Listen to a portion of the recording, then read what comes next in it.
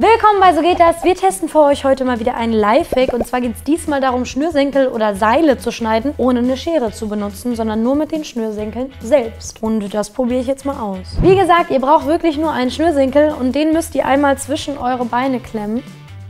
Und dann schiebt ihr den Schnürsenkel einmal über einen Fuß und hier wieder hoch. Und das war es eigentlich schon. Wichtig ist, dass ihr hier auf Spannung ist, also dass ihr hier wirklich drauf tretet. Und dann müsst ihr das nur hin und her bewegen, sodass quasi Reibung und Wärme entsteht. Und das äh, mache ich jetzt mal so lange und warte, ob es reißt. Dass meine Schuhe hier kaputt gehen, dadurch, dass das auch hier immer so hin und her geht. Ne? Wo war ich da? Also da fliegen auf jeden Fall schon mal so ein paar, wie nennt man das? Oh, das ist ganz warm. Baumwollfetzen.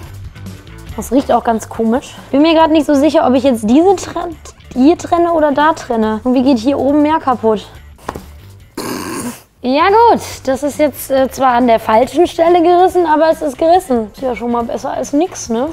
Und hier ist auf jeden Fall schon mal um einiges dünner geworden, aber nicht gerissen. Naja, also Ziel erreicht, nur nicht ganz so, so gedacht, gemacht wie geplant. Ist natürlich fatal, wenn ihr an einer bestimmten Stelle das Ganze zerreißen wollt und dann die Stelle reißt, an der ihr nur dreht. Ist ja doof.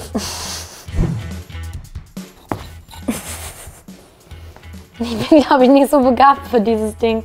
Bei mir reißt, äh, oh, es ist richtig warm. Bei mir reißt immer die Stelle, wo es eigentlich nicht reißen soll. Für mich ist ein Fail. Bei mir funktioniert es nicht. Bei mir funktioniert es zwar, aber nicht so wie, wie gewollt. Kann ich mir hier ein Freundschaftsarmbändchen draus machen. Toll. Also es hat nicht funktioniert, wie es funktionieren sollte. Aber ich verstehe nicht, dann würde ich lieber warten oder mir ein Feuerzeug nehmen oder beim Nachbarn klingeln und fragen, ob der eine Schere hat, bevor ich dann nachher die ganzen Schnürsenkel zerstöre. Kommt bei mir keine Punkte. Durchgefallen.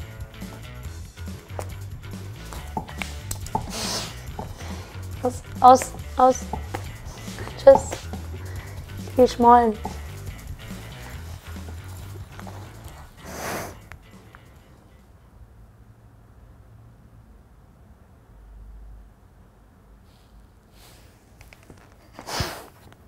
Ist ja immer noch da.